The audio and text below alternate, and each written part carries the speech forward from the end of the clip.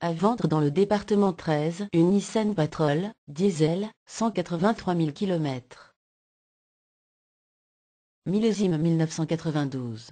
Le prix du véhicule est indiqué sur 321auto.com. Les coordonnées du vendeur figurent dans le détail de l'annonce. Retrouvez cette annonce sur 321auto.com en cliquant sur le lien dans la description.